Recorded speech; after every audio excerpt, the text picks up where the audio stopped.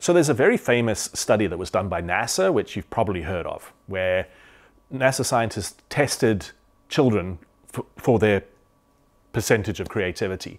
And they discovered that kids under two, 95% of them are creative genii, geniuses. And then every five years that drops until as adults, 2% of people can be considered to be creative geniuses.